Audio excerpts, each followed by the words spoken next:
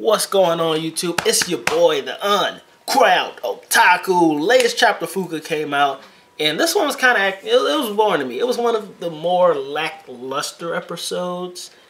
Not really a lot happening. They're, they're training. They're training up for the big festival, so it's to be expected.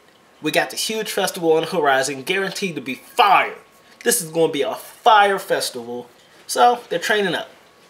The fallen moon, Yuu isn't where he needs to be, and yo, they ripped into him during training. He asked them what was wrong, and they were like, yeah, according to this thing, you get too emotional when you're singing, that's an ego problem, and you don't keep up with the drums, that's another problem. And while he's trying to fix it, they're just yelling at him, berating him, just tearing him a new one. But he takes it in stride. He doesn't complain. He doesn't cry.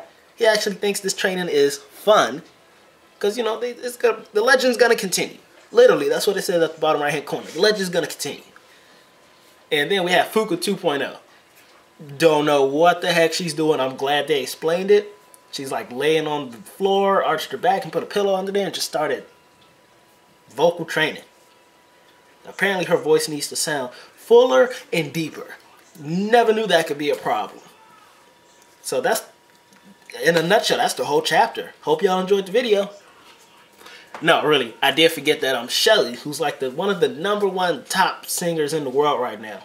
She's gonna be at the Hedgehogs Festival, and she's she remembers Fuuka, not the Fallen Moon band. She remembers Fuuka because if you remember in the chapter, uh, Naki Nachi, he said the Fall Moon from the Fallen Moon is no longer there. That was if you sounded out Fuuka's name, I'm guessing it was Fall Moon. Shelly says, "I can't wait to see Fall Moon at the concert."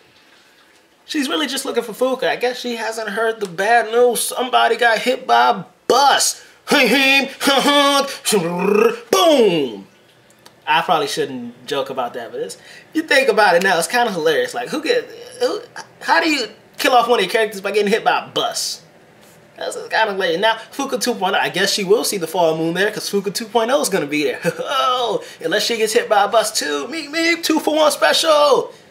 I doubt that's going to happen, but that's really all that happened in the chapter. What do y'all think is going to happen next week? Comment down below. Don't forget to like and subscribe. Support Uncrowned Otaku.